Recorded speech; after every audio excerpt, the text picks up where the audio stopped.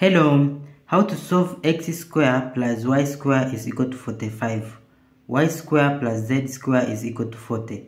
To find the value of x, y and z such that x, y and z are positive integers. So first, this we let equation 1 and this we let equation 2. Then from equation 1 minus equation 2 from equation 1 in the left side, x square plus y square minus equation 2 in the left side, y square plus z square is equal to, in the right side, 45 minus 40. So, in here, it will be x square plus y square negative inside the bracket it will be negative y square minus z square is equal to this minus this is 5 then next step y square minus y square is 0 so this and this will cancel. So it will be x square minus z square is equal to 5 then this one is a perfect square. So this can be in, in this form. X plus z bracket times x minus z is equal to 5. Then from here x plus z is greater than x minus z. So if this times this is equal to 5, there is one possibility which is 5. 5 is same as 5 times 1. So in here it will be x plus z times x minus z is equal to 5 times 1. Then from here we have two cases whereas x plus z is equal to 5 and another case x minus z is equal to 1.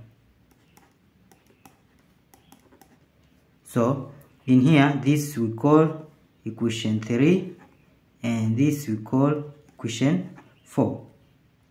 Then to find the value of x, we add equation 3 plus equation 4. So here it be equation 3 is x plus z plus equation 4 x minus z is equal to 5 plus 1 which is 6. Then because this is positive this is negative will be 0 so this and this will cancel. Then x plus x is 2 x is equal to 6 then to simplify here divide by 2 divide by 2 this and this will cancel here by 1 here by 3 so x is equal to 3 then to find the value of y from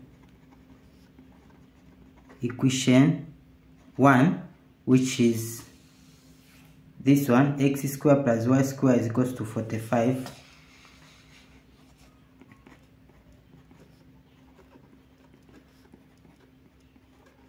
we substitute the value of x which is 3 so here it will be 3 square plus y square is equal to 45 then 3 square is 9 plus y square is equal to 45 then this 9 we take to this side so y square is equal to 45 minus 9 this minus this is 36 then y square is equal to 36 then we apply square root in both sides then this square root will cancel with square.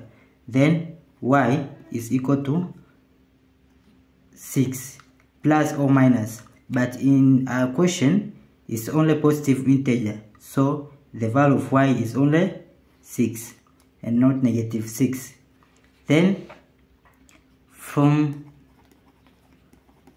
equation 2 to find the value of z from equation 2 which is y square plus z square is equal to 40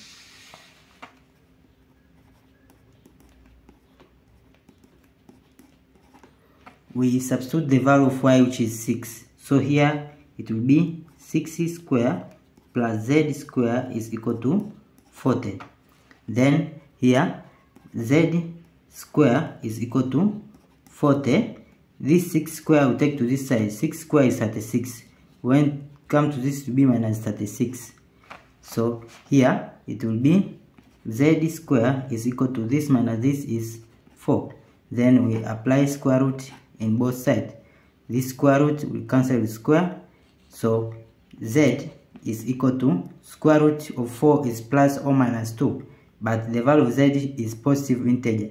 So here the value of z is 2 therefore the values of x is 3 the value of y is 6 and the value of z is 2 so this is the, the final answer. Don't forget these steps to miss out. Subscribe to my channel and see you in the next video. Bye bye